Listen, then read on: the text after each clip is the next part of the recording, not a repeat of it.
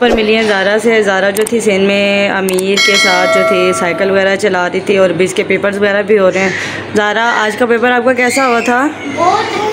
बहुत अच्छा ना, क्योंकि आज इसका औरल था औरल था इसका नाजरे का, जिसमें इसने कलमे वगैरह सुनाने थे और जो था, दुआएँ वगैरह सुनानी थी। तो अल्हम्दुलिल्लाह, इसको काफ़ी अच्छे आते हैं। तो मतलब कि इनके तीन चार कलमे वगैरह थे और दुआएँ वगैरह थी खाना खाने की, खाना खाने से पहले की बात की। तो ये सब दुआएँ इन्होंने अल्हम्दुलिल्लाह मैंने याद करवाई थी। इन्होंने बड़ी अच्छे तरीके से इनको याद थी बड़ा अच्छा पेपर हुआ इनका। तो बस इन आपकी, सबकी दुआएँ हैं, दुआ करने के ज़्यादा के पेपर जो हैं वो अच्छे हो जाएँ और इनका जो रिज़ल्ट है वो अच्छा हो।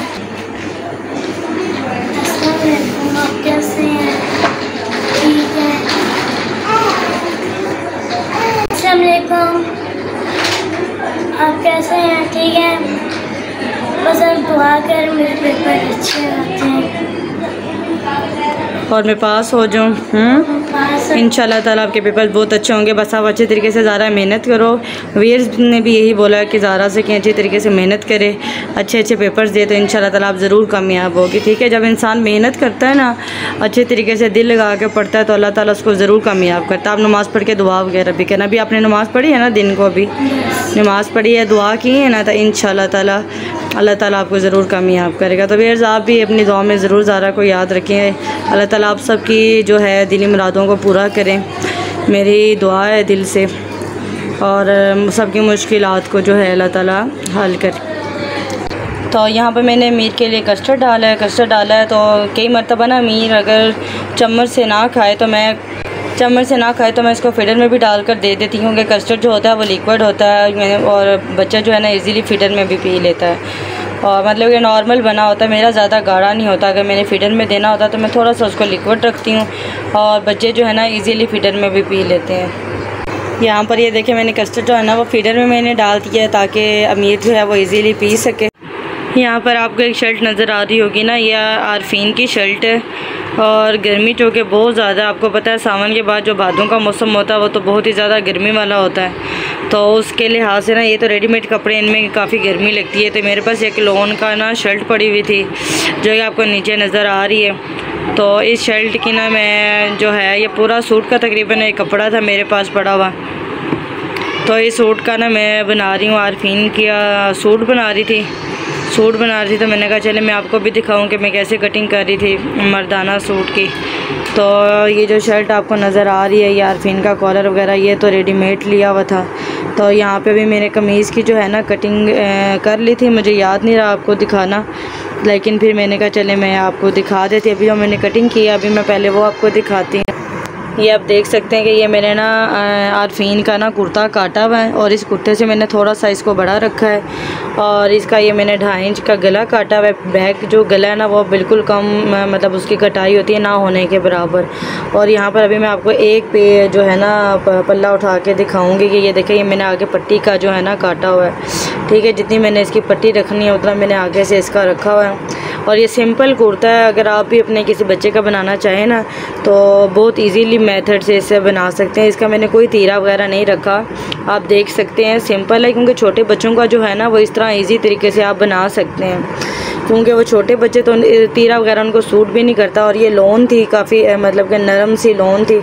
तो इसका मैंने अमीर का, आरफीन का जो है ना, मैंने कुर्ता काटा है। यहाँ से मैंने कटिंग वगैरह कर ली है, ये इसका मैंने कंधा काट दिया है। कंधा काट के मैंने इसका ढाई इंच गला काटा है। गला काट के मैंने पट्टी जितनी रखनी उतनी मैंने कटिंग कर ली और जब मैं पट्टी बनाऊँगी मेन जो पॉइंट है ना, वो पट्टी का है कि आपने पट्टी किस तरीके से बनानी है। तो वो मैं आपको जब पट्टी को बनाऊँगी बुकरम की तो फिर मैं आपको बताऊँगी। तो आपने वो जो है ना स्कीप नहीं करना पार्ट आपने वो लाजमी देखना है, ताकि अगर आप भी अपने किसी बच्चे का बनाना चाहें सिंपल सा कुर्ता घर में तो आप इजीली बना सकते हैं, घर में, क्योंकि गर्मी बहुत होती है और बच्चे जो है ना इजीली इसको पहन पहन लेते हैं। तो ये बड़ा ही प्यारा लगता है अभी ये मैं इसके बाजू कट कर थी अभी मैंने कुर्ते की ये कटिंग की है। और हाँ एक चीज़ मैं और आपको बता दूँ, यहाँ पर मैंने जो है ना ये कट लगाए हैं। यहाँ से इसकी फ़िटिंग की सिलाई है और यहाँ से इसका मैंने एक हिस्सा रखा। है ठीक है, यहाँ से मैंने खिस्सा स्टार्ट करना और यहाँ तक मैं रखूँगी और यहाँ पे जो है ना चाक आ जाएगा, ठीक है? और ये जो मेन चीज़ें हैं ना, एक पट्टी का और एक एक हिस्से का सेटअप ये जो जेंट्स का होता है, ये थोड़ा मुश्किल होता है। और गला जो है, मैं इसका कॉलर नहीं लगाऊँगी क्योंकि गर्मी है, ऊपर से मैंने बैन नहीं लगाना।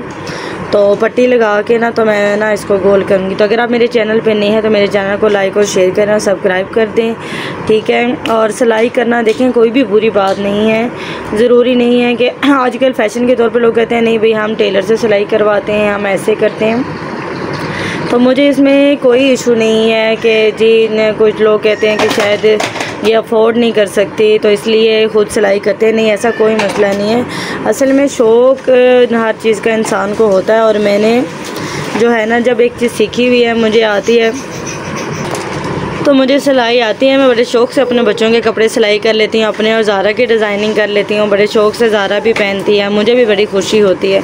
बल्कि टेलर तो क्या आपको पता है कि मतलब अंदर से फ़िटिंग की कटिंग इतनी ज़्यादा कर देते हैं। और कोई ना कोई मेरा मसला या इशू ज़रूर ही रहता है। तो इसलिए मैं कोशिश करती हूँ कि मैं अपने कपड़े जो हैं वो मैं ख़ुद स्टिच करूँ ज़ारा के भी खुद स्टिच करूँ। बहुत अच्छी बात है।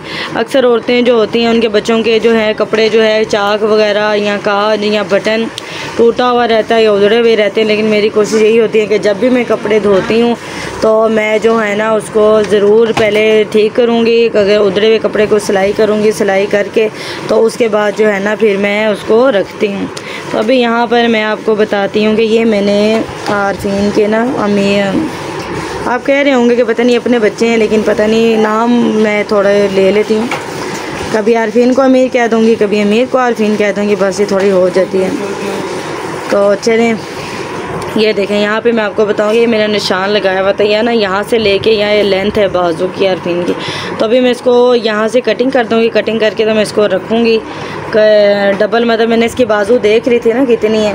असल में मेरे पास अभी कोई, मैं आपको सही बात बताऊँ, कोई स्टैंड वगैरह तो है नहीं कि मैं उस पर कैमरा लगाऊँ या कुछ करूँ। आप देख सकते हैं, मैं आपको ऐसे आइडिया बता देती हूँ, ठीक है? इतना ये आप देखा होगा कि यहाँ पे इतने पे बुकरम आ जाएगी और आप ये दे, ये देखें, ठीक है?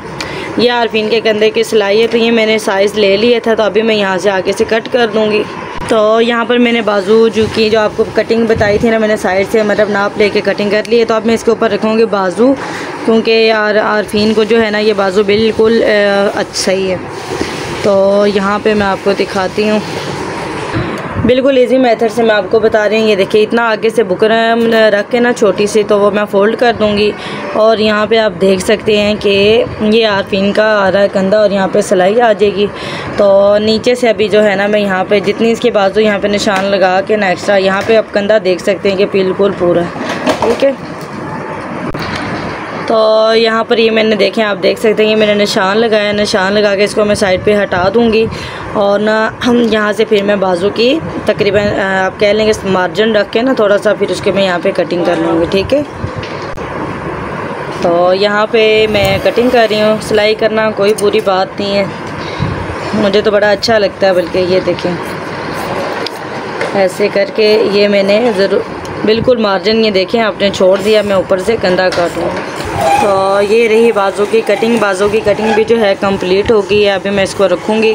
अगर कंधा वगैरह तंग हो तो ये आप देख सकते हैं, जैसे फिटिंग से साइड से जो कपड़ा उतरता है ना, कुछ इस शेप का होता है, हम इसको कंधे के साथ ना इस तरीके से डाल सकते हैं। अगर आपका कंधा टाइट है तो।